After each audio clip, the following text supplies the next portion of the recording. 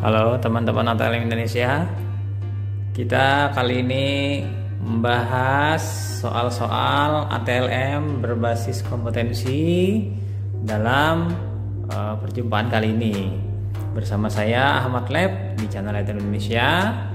Tidak terasa kita sudah masuk ke bagian 22 soal-soal yang kita bahas Oke, kali ini kita membahas 25 soal yang mana kombinasi dari virologi, imunologi serologi, dan kimia klinik urinalisis. Oke, kita bahas satu persatu soal-soalnya. Nomor satu, pengertian virus adalah yaitu A. Jasad hidup terkecil berukuran 20-30 nanometer yang hanya terdiri atas DNA saja. Yang B. Jasad hidup terkecil berukuran 20-300 nanometer yang hanya terdiri atas asam nukleat saja. Yang C. Jasad hidup terkecil berukuran 20 sampai 300 nanometer yang terdiri atas RNA atau DNA dengan kapsid berupa protein.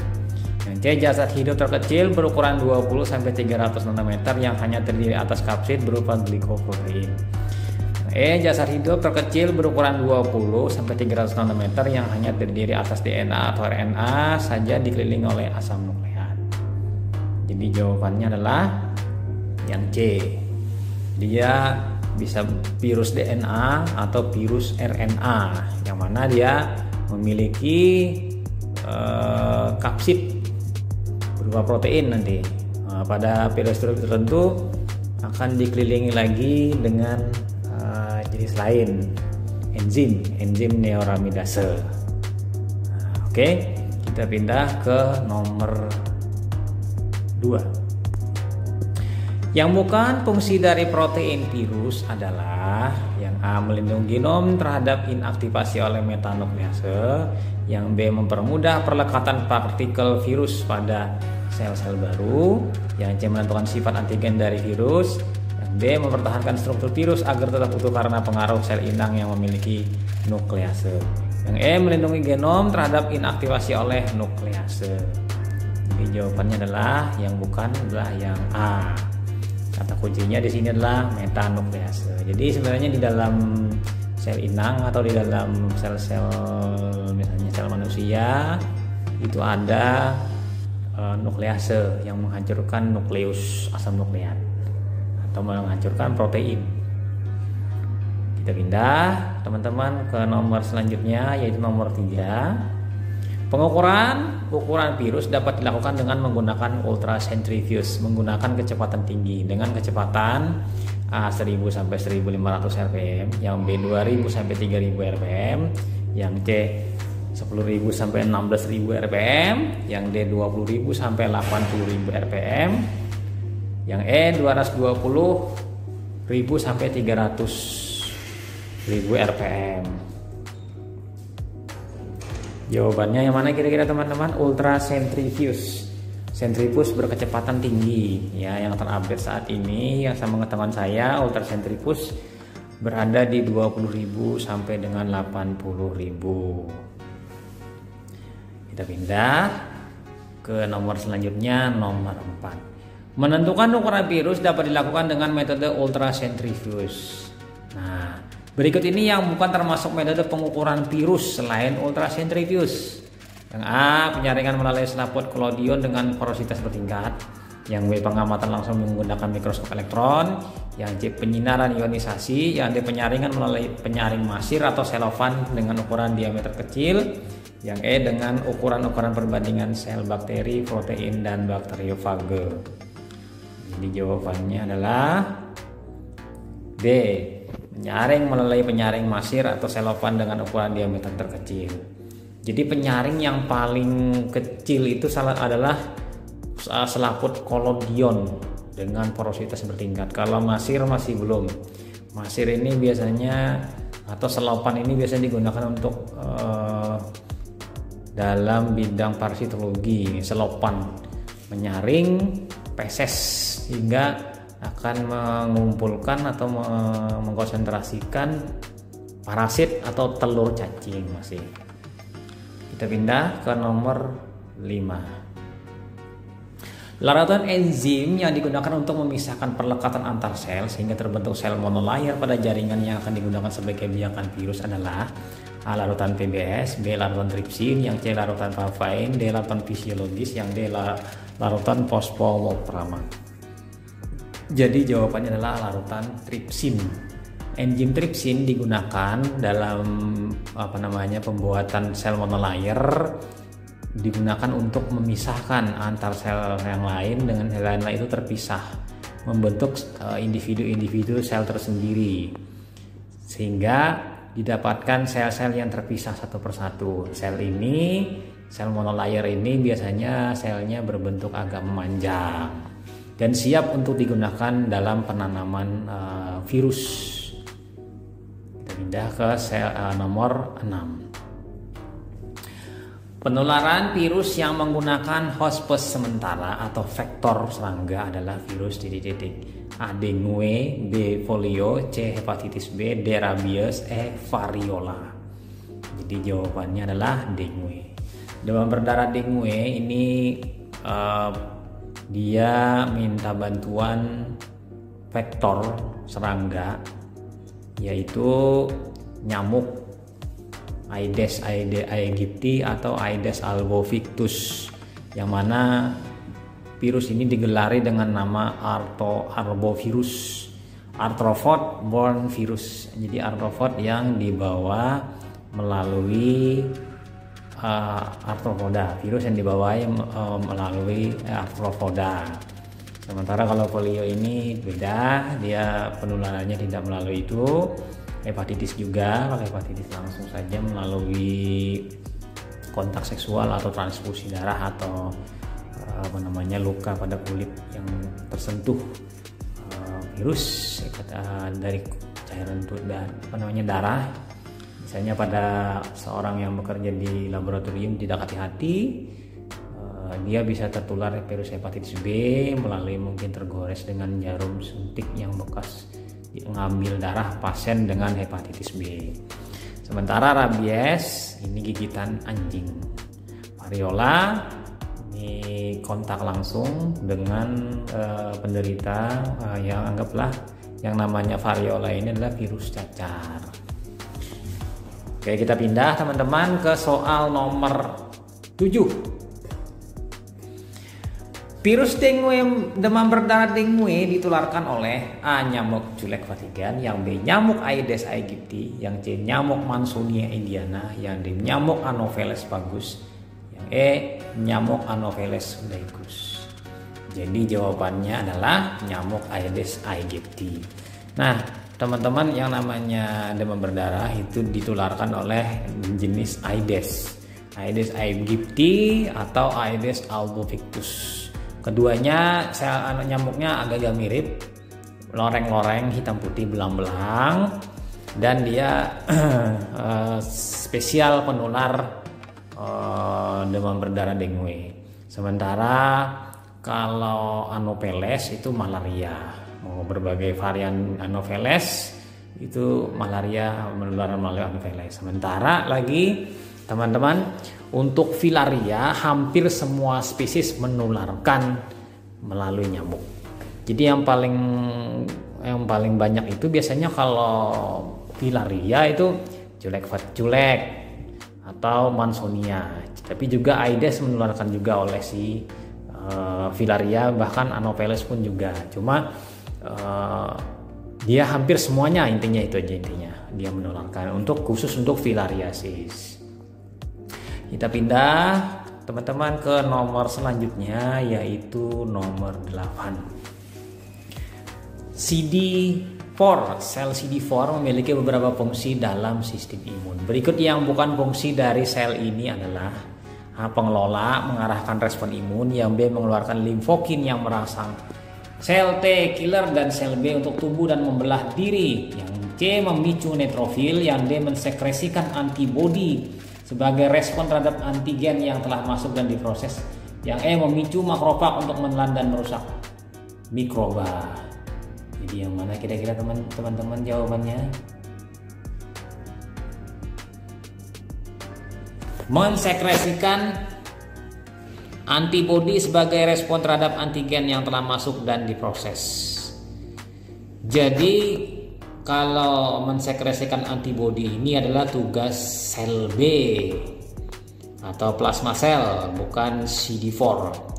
CD4 ini fungsinya selain dari yang opsi ini dia lebih mengarah sebagai mengendalikan atau mengelola respon imun kemudian meng, apa namanya merangsang sel T sel T killer untuk mengeluarkan limfo apa namanya limfokin. Kemudian kalau yang lain ini misalnya memicu makrofag untuk menelan dan merusak makroba ya juga fungsi dari CD4 jadi CD4 ini fungsinya tokoh sentral dalam sistem imun. Dia eh, apa namanya mengatur produksi antibodi mengatur serangan mengatur uh, sel fagosit merangsang sel fagosit untuk menelan dan merusak mikroba. Dia tokoh sentral. Kita pindah nomor 9. Uji serologi untuk melihat kenaikan titer dan mengetahui tipe virus yang menyebabkan sakit dengan menggunakan eritrosit sebagai indikatornya dalam reaksi aglutinasi adalah tes ikatan komplemen yang B hemaglutinasi, yang C netralisasi, yang D ELISA, yang E RIA. Jadi beda-beda ini ujinya diujinya hem aglutinasi. Aglutinasi uh, aglutinasi menggunakan sel darah, sel darah. Sementara ikatan komplemen ini untuk melihat uh, terikat atau tidaknya dalam sebuah reaksi.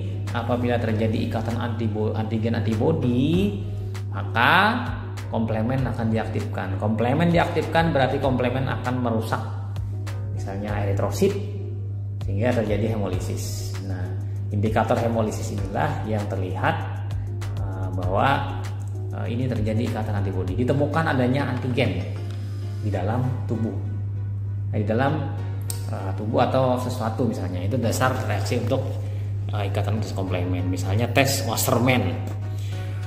Uh, sementara untuk netralisasi itu uji netralisasi. Ini uji netralisasi ini biasanya dalam virologi atau virus. Untuk ELISA ini berdasarkan reaksi apa namanya warna yang dibentuk akibat uh, hidrolisa enzim yang dilabelkan pada suatu namanya antigen atau antibodi. Sementara RIA ini sama juga tapi dia radioaktif yang eh, radio radio radioaktif yang digunakan. Radio imun isotop yang digunakan. Pindah kita ke nomor 10 ini maaf tadi mungkin radio aktif bukan radioaktif radio isotop. Dan nomor 10 uji laboratorium untuk diagnosis penyakit rickettsiosis karena dasar crosslink aglutinasi dengan Proteus vulgaris adalah Faulgunel, Well Felix, Wasserman test, Elisa Sandwich, Eria. Jadi jawabannya adalah well Felix. Jadi well Felix ini untuk menguji penyakit rickettsia. Rickettsia, gagal uh, apa namanya? Susu gamusi, rickettsia apa namanya lagi full rickettsia apa namanya? Jadi penyakitnya disebabkan oleh rickettsia. Rickettsia ini organisme yang ukurannya kecil. Ya, dia kecil uh, berada lebih berat dikit daripada virus dia berada di antara bakteri dan virus. Nah, Uh, untuk Paul Bunel ini lain lagi ini untuk granular fever kalau tidak salah saya lupa juga granular fever. Kalau Wasserman ini untuk uh, sifilis, Elisa sandwich ini umum uh, untuk pemeriksaan Elisa, Elisa non kompetitif atau non kompetitif.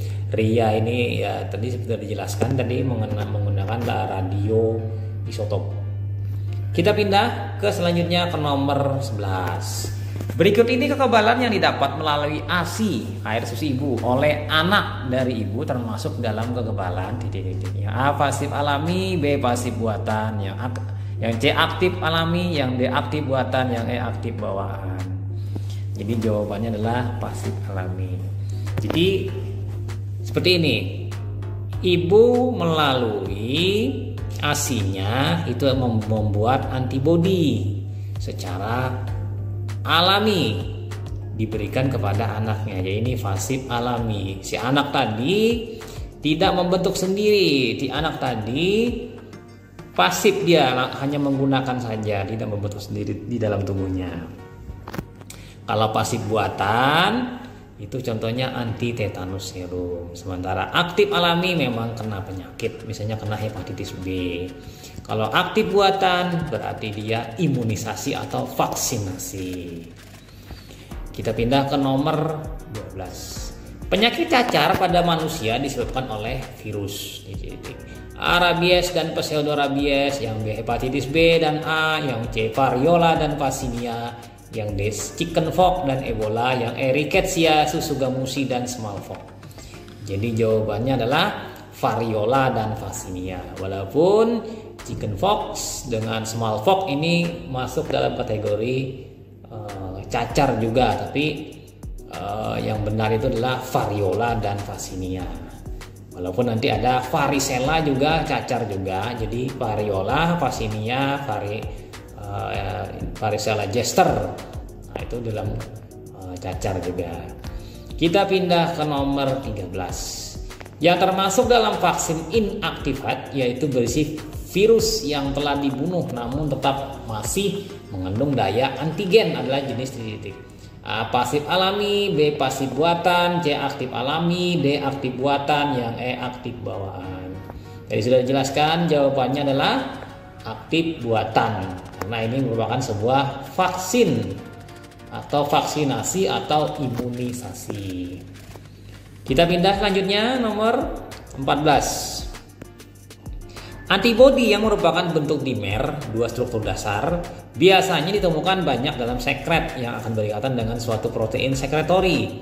Adalah kelas IgM, IgG, IgA, IgE, IgD. Jadi jawabannya adalah IgA. IgA ini adalah uh, imunoglobulin A, jenis A, ini alfa. Dia merupakan sebuah dimer. Di, dia ikatan keduanya disatukan oleh suatu ikatan sekretori. Nama sehingga diberi nama SIGA sekretori imunoglobulin A. Nah seperti itu. Kita pindah ke selanjutnya nomor 15 adanya infeksi bakteri Streptococcus beta hemolyticus dapat dideteksi dengan pemeriksaan laboratorium titik-titik. A rheumatoid factor yang B Widal test yang C anti streptolisin O yang DC reaktif protein, yang E galimain ini. Jadi jawabannya adalah anti streptolisin O. Jadi jelas jawabannya karena sama-sama streptococcus dan streptolisin. Kita pindah ke selanjutnya nomor 16 pemeriksaan C reaktif protein CRP di laboratorium ini digunakan untuk tujuan ya, mendeteksi adanya infeksi bakteri Salmonella TV dan Parativi. Yang B mendeteksi adanya infeksi hepatitis B. Yang C mengetahui kehamilan pada seseorang pada seorang wanita. Yang D mengetahui adanya infeksi atau radang yang menyertai dengan infeksi pneumococcus. Yang E mengetahui adanya infeksi bakteri Streptococcus beta hemolyticus penghasil streptolisin O dan S. Jawabannya adalah mengetahui adanya infeksi atau radang yang menyertai dengan infeksi pneumococcus. C. Reaktif protein. Yang mana di sini C reaktif protein ini termasuk kalau tidak salah masuk dalam beta globulin. Dia meningkat tajam pada kasus radang-radang akut sehingga digunakan sebagai parameter radang eh, juga pada kondisi infeksi pneumococcus. Kita pindah selanjutnya ke nomor 17 Spesimen yang diperlukan untuk pemeriksaan kehamilan cara gali main ini adalah titik-titik dan titik-titik. Yang A serum dan katak, yang B urin dan katak, yang C serum dan kelinci, yang D serum dan regen kelatek, yang E darah dan regen latek. Jadi jawabannya nomor 17 ini adalah urin dan katak. Karena di sini urin wanita hamil dan katak jantan mana nanti akan dilakukan proses penyuntikan urin kepada katak jantan. Gara-gara adanya ACG di dalam urin tadi merangsang si katak jantan untuk mengeluarkan uh, spermanya di dalam urinnya. Kita pindah nomor selanjutnya nomor 18. Teknik penyuntikan katak jantan bufo vulgaris atau bufo melanotictus untuk ke uji kehamilan yang benar adalah titik-titik.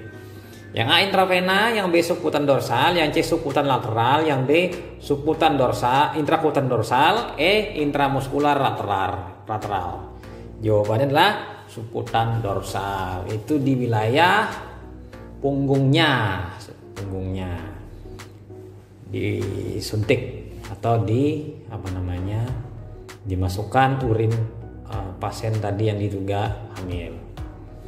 Kita pindah lan lanjut lagi ke nomor 19 teman-teman ATL Indonesia.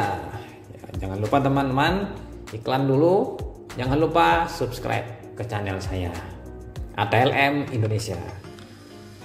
Struktur dasar antibodi adalah A terdiri satu rantai berat H chain dan dua rantai ringan L chain yang terdiri dari dua rantai berat H chain dan satu rantai ringan L chain yang C terdiri dari dua rantai berat H chain dan dua rantai ringan L chain yang D terdiri dari tiga rantai berat H chain dan dua rantai ringan L chain yang E terdiri dari tiga rantai berat H chain dan tiga rantai ringan L chain jadi jawabannya sangat mudah yaitu jawabannya mana? Yang C terdiri dari dua rantai berat ditambah dengan dua rantai ringan. Itu biasanya sudah uh, menjadi dasar-dasar kita uh, mengetahui dasar-dasar dari imunoglobulin atau antibodi.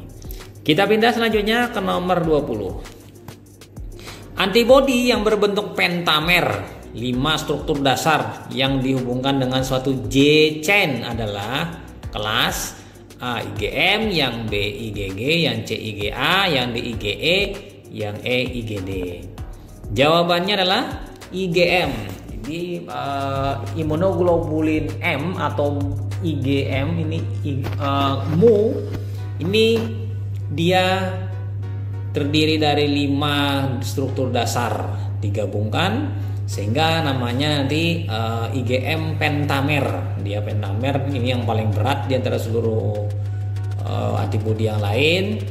Umumnya IgM ini ditemukan pada kasus akut dari suatu infeksi respon pertama setelah itu nanti digantikan oleh IgG tapi IgM ini uh, bisa juga sebagai uh, natural antibody misalnya ditemukan pada pada reaksi sistem dari golongan darah. Kita pindah ke nomor 21. Fungsi dari sel T supresor adalah titik-titik. A mengeluarkan limfotoksin yang menyebabkan lisis sel. Yang B membunuh langsung sel T ya, sel yang diduga terinfeksi virus. Yang C memicu makropak untuk menelan dan merusak mikroba. Yang D menghambat produksi sel T killer jika tidak dibutuhkan lagi. Yang E memicu makropak untuk menelan dan merusak mikroba. Jadi jawabannya adalah yang D. Menghambat produksi sel T killer jika tidak dibutuhkan lagi. Jadi di sini uh, termasuk juga antibodi. Karena dia supresor menekan, jadi dia sini adalah menekan atau menghambat produksi sel T dan juga produksi antibodi. Stop intinya mengurangi supaya jangan berlebihan. Ini sel T killer suppressor. Beda dengan uh, nanti uh, yang sel T killer itu membunuh sel langsung. Pada sel yang diduga terinfeksi virus. Sel NK natural killer uh, dia membunuh langsung target sel yang terinfeksi virus. Kita pindah teman-teman ke nomor selanjutnya nomor 22 kita pindah ke kimia klinik. Untuk membedakan urin terhadap cairan tubuh lain atau cairan lain yang mirip warnanya seperti air teh dalam kasus pemeriksaan narkoba atau nabza, maka uji yang harus dilakukan adalah kecuali ini ada suatu urin diduga narkoba, teman-teman. Lalu kita belum yakin ini urin atau urin sintetik atau air atau aqua des yang diwarnai atau air teh dan lain-lain apa yang harus kita lakukan? Ini ada uji-ujinya. Yang mana yang bukan? Yang A adanya fosfat dengan regen BaCl2 10% bentuk keruhan. Yang B adanya kreatinin menggunakan regen JAP asal pikrat membentuk warna oranye. Yang C memeriksa adanya sedimen urin, yang D memeriksa warna urin uro, uji urobilinogen dan urobilin. Yang E memeriksa warna, bau dan suhu urin. Jadi jawabannya adalah yang bukan adalah yang memeriksa warna, bau dan suhu urin. Karena suhu urin itu cepat sekali berubah. Saat dikeluarkan agak-agak hangat, begitu sudah kelamaan dia kembali dingin. Warna urin pun tidak spesifik serta baunya, baunya segera akan menghilang bau-bau tajamnya itu akan hilang. Jadi ini yang bukan. Sementara yang lain itu adalah salah satu uji screening membedakan urin dengan cairan tubuh lain. Tapi yang paling baik adalah yang A dan yang B, terutama yang B. Di dalam urin itu satu-satunya cairan tubuh yang memiliki kadar kreatinin yang sangat tinggi, dipekatkan hingga 50 kali dibandingkan cairan lain. Kita pindah selanjutnya teman-teman ke nomor 23. Protein dengan BM rendah hasil filtrasi ginjal kemudian akan mengendap dan membentuk metrik membran berupa persegi panjang tanpa isi maka disebut titik-titik. Yang A silinder hialin, yang B sel renal tubular, yang C oval fat body, yang D sel glitter, yang E eritrosit dysmorphic. Jadi jawabannya adalah silinder hialin. Jadi silinder hialin ini protein BM rendah ini adalah protein tamhospal. Protein ini disekresikan oleh tubulus tujuannya untuk mensterilkan tubulus. Jadi tubulus itu akan bersih akibat dari sekresi tadi eh, apa namanya? Proteinnya akan membeku. Setelah membeku lalu membuat sebuah perangkap mirip seperti agar-agar Perangkap ini apabila kosong tidak ada apa-apa itu hialin namanya. Tapi bila ada isinya sesuai isinya apa. Kalau bakteri nanti isinya silinder bakteri. Kalau eritrosit silinder eritrosit. Kalau leukosit silinder leukosit. Kalau e, bercak-bercak kasar bergranula namanya silinder granula. Oh granula halus atau granula kasar. Atau nanti yang lain-lain tergantung isinya. Nah, sementara sel renal tubular ini adalah sel RTC, sel epitel ginjal. Epitel yang didapatkan dari langsung dari ginjal. Ditemukan dalam urin ini penanda sebagai kerusakan dari uh, ginjal. Kalau oval fat body lain lagi. Nah, ini sel glitter juga lain lagi. Sel glitter ini uh, leukosit yang datang dari ginjal. Eritrosit dysmorphic ini eritrosit yang morfologinya tidak seragam, berbeda-beda secara wujudnya. Kita pindah nomor selanjutnya nomor 24. Penderita sindrom neprotik mengalami gangguan pada fungsi ginjal sehingga lemak masuk dan ditemukan dalam urin. Hasil pemeriksaan sedimen urin ditemukan lemak dalam sitoplazma sel epitel bulat ginjal tubular. Sel ini disebut dengan A sel epitel squamous, yang B sel epitel transisional, yang C sel trans transcaudatus, yang D oval fat bodies, yang E silinder waxy. Jadi jawabannya adalah oval fat body. Oval fat body adalah sel epitel ginjal yang mana dia eh, apa namanya sitoplasmanya bersifat refraktil. Gara-gara refraktil ini dia bisa mudah dimasuki oleh lemak. Masuknya lemak tadi akan menggeser atau menyebabkan terminal dari intinya itu terdesak ke samping, eksentrik jadinya. Jadi di dalam sitoplasmanya nanti banyak gelembung-gelembung. Gelembung-gelembung ini mendesak inti ke samping, eksentrik. Terlihat uh, sebagai sebuah sel yang mirip dengan sel leukosit uh, makrofag, tapi dia beda. Nah, ini nanti di, melihatnya dengan mikroskop polarisasi akan terlihat uh, apa namanya bercak lemak di dalam sitoplasmanya. Ini namanya oval fat bodies. Kita pindah teman-teman ke nomor selanjutnya. Nomor 29. 25 maksudnya. Pengawet yang paling baik untuk pemeriksaan kalsium dalam urin adalah atoluen, betimol, ceformaldehid, yang D asam klorida pekat, yang E natrium karbonat. Nah, jadi jawabannya adalah asam klorida. Asam klorida akan melarutkan kalsium di dalam urin sehingga tetap dalam kondisi larut, tidak mengendap, kemudian tidak tidak merusak urin. Urinnya tadi dapat dirusak oleh bakteri karena pH-nya diturunkan hingga pH-nya mendekati satu. Nah, ini asam klorida pekat. Kalau toluen ini melapisi permukaan, ini untuk keton-ketonan, benda keton. Timol ini secara umum uh, untuk pengawet urin, uh, bisa untuk uh, pengawet dari yang lain-lain protein bisa diawetkan. Sementara formaldehid ini untuk sedimen lebih spesifiknya pengawetnya. Dengan sedimen bakteri tidak bisa berkembang biak. Jadi dengan sedimen ini penambahan formalin bakteri tidak bisa berkembang biak. Sementara natrium karbonat ini bisa digunakan untuk uh, pengawet dari hormon-hormon tertentu. Nah, itu teman-teman 25 soal berbasis kompetensi uh, yang sudah memasuki bagian 22. Semoga bermanfaat dan memberi barokah pada teman-teman yang menyimak dan menyaksikan uh, video ini. Salam kompetensi, Nantikan soal lainnya.